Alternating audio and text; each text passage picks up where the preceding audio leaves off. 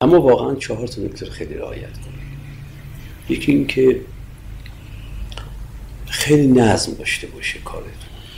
حالا غیر از برنامه ریزی که خب خودشون میگه انجام بگیره و به شما نیست ولی اینکه که خیلی نظم داشته باشید.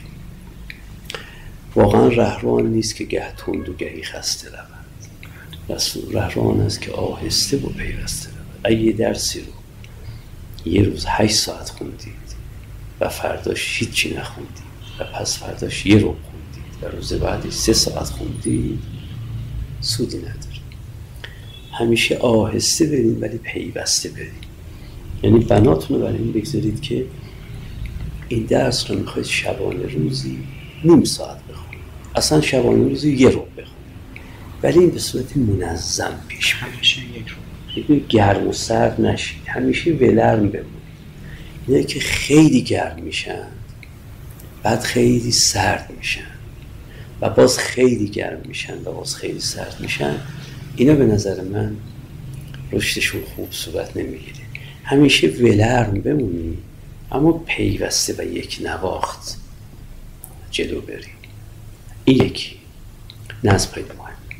نکته دومی که هست اینه که پشکارم داشته باشید.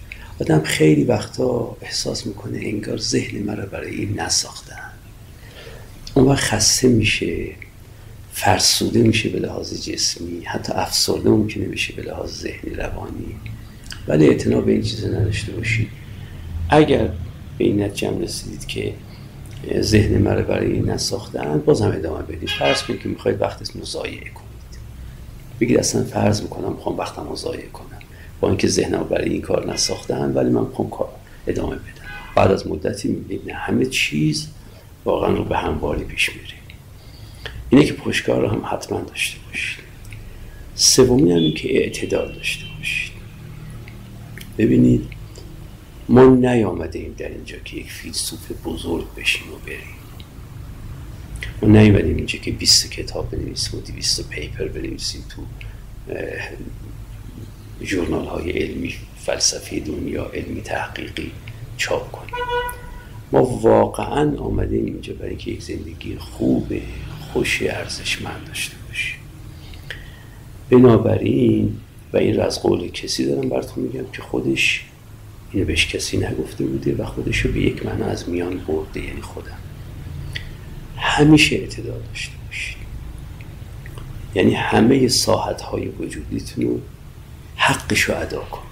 نگید که حالا چون زوم کردیم روی درس اون وقت دیگه به خواب توجه نمی کنیم به خوراکمون توجه نمی کنیم به ورزشمون توجه نمی کنیم به تفرج و گشت و گذارمون توجه نمی کنیم از مسافرت چشم پوشیم اگر حق هر ساحتی از ساحتهای وجودتون رو به هر نیازی از نیازاتون ادا نکنی یه وقتی واقعا وجودتون پنچر میشه.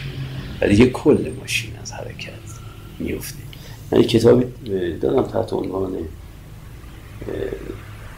تنوع دین در روزگار بله. جدید. نه شما دیدید ندیدید؟ بله من خوندم این کتاب اگه دقت کرده باشید من اول اون کتاب رو تقدیم کردم به یکی از دوستانم. نوشتم که حق گذار هستی است مثلا تقدیم کردم به مهندس حاجی رسولی ها که حق گذار هستی است. حق گذار هستی یعنی این که اگر فرض کنید که عزیزترین عزیزش هم تو بیمارستان باشه مسواک دندون شبش رو فراموشش می‌کنه. میگه اون کار خودشو داره اینم کار خودشو داره. این که به ادنا تلاطمی که در زندگی پیش بیاد همه چیزم از دست بره اصلا و ابدا اینجور نیست.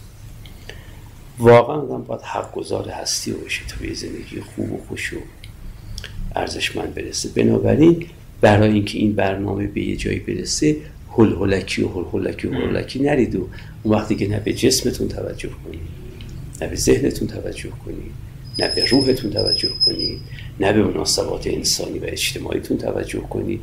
بگید حالا حالا حالا ها ما باید فقط زوم بکنیم روی چی؟ روی درس.